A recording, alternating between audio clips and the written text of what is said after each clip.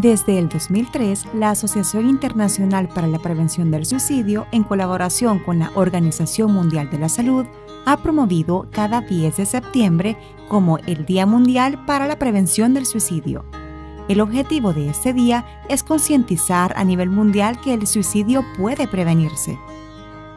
El suicidio constituye un problema de salud pública muy importante que provoca casi la mitad de todas las muertes violentas en el mundo y se traduce en cerca de un millón de víctimas al año.